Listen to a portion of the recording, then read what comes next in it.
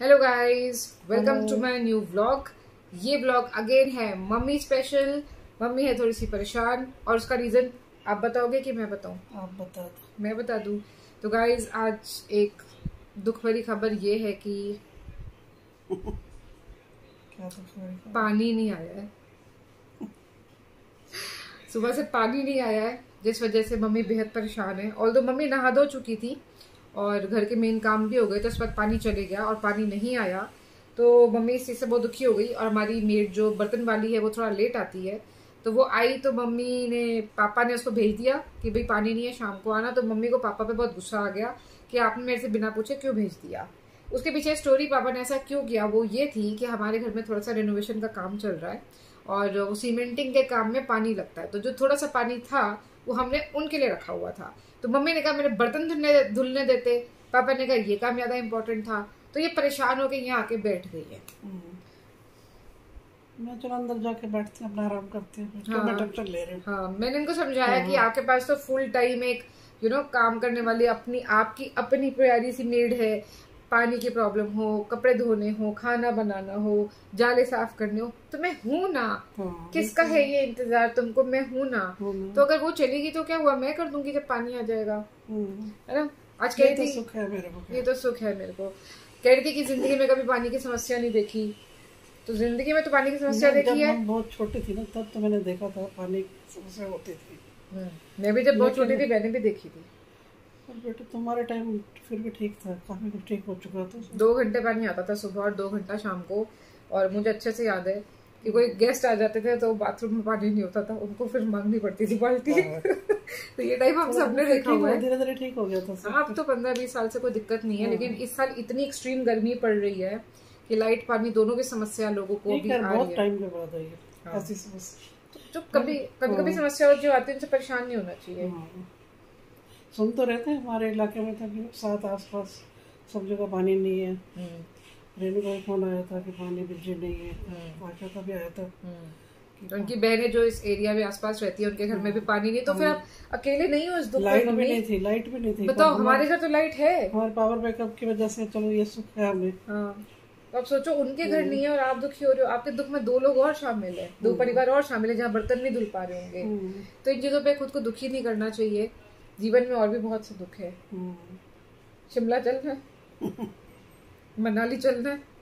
हाँ, इतनी भीड़ हो रही है तभी वीडियो देखी है इतनी हम्म। बहुत भीड़ थी देखी तो तभी तो मैं बात कर रही हूँ कि लोग नैनीताल शिमला मसूरी मनाली जा रहे हैं मतलब पता नहीं क्या सोच के जा रहे हैं क्या हैं। लिखा हुआ पहले जैसे लाइन ऑक्सीजन की कमी के लिए हॉस्पिटल्स के लिए हॉस्पिटल हाँ, में थी। होटल के लिए लगी अब है। तो सब भूल गए हैं और वैसे लाइनें लगा के हिल स्टेशन पे घूम रहे हैं। बताओ कितना रिस्की है? लोग मास्क नहीं लगा रहे इतनी भीड़ है। मैंने कुछ काफ़ी फोटोग्राफ्स वायरल है आपने भी देखा होगा कि सोशल डिस्टेंसिंग तो बिल्कुल मेंटेन नहीं हो रही है और भूल जाते हैं लोग। थर्ड वेव यही लोग लेकर आएँगे हमारे लिए अगर लाएँगे तो। खुद भी परेशान दूसरों को भी परेशान करेंगे। हम्म, लोग घर से बिल्कुल अंटिल कोई बहुत ज़रूरी काम हो।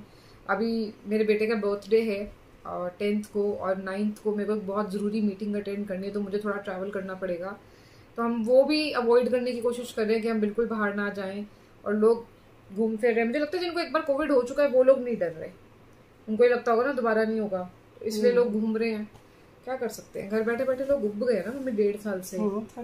हमारा भी अंदर से मन कर रहा था कि चले जाए बट कहीं ना कहीं समझ है जो रोक लेती है कि नहीं अभी नहीं। घूमना फिरना तो ज़िंदगी भर लगा रहेगा। हम्म, पानी तो सोचो वहाँ पे तो पानी की बहुत शॉर्टेज होगी।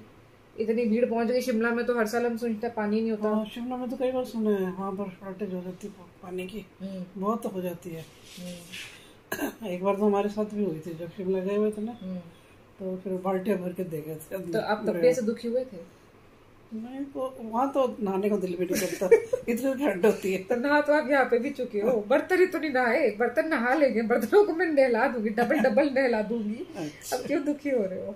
नहीं वो आ जाएगी। मैंने बात कर लिया सोनम से। बात भी कर लिया कि भैया हाँ, आ जाएगी मतलब बेसिकली इनको पापा पे गुस्सा आ रहा था कि इनसे बिना पूछे क्यों भगाया उसको?